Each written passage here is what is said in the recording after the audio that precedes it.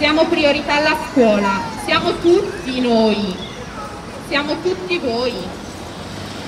Crediamo profondamente che l'unione faccia la forza e che ognuno di noi possa fare la differenza, come ogni singolo tassello di un grande puzzle.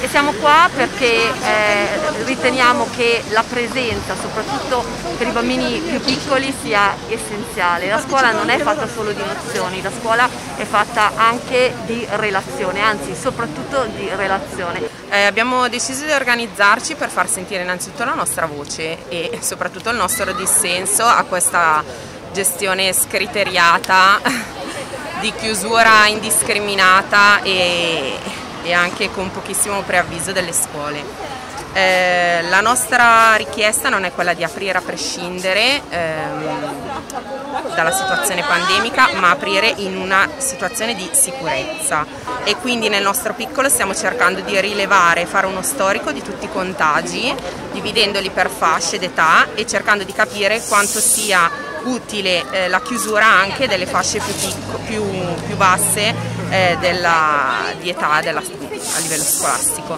Eh, la viviamo in modo molto problematico perché se io e mia moglie lavoriamo in settori dove si può lavorare solo che in presenza, quindi dobbiamo chiedere continuamente permessi, aspettative, danneggiando anche i colleghi che purtroppo devono comunque eh, supportare il lavoro che noi non riusciamo a fare.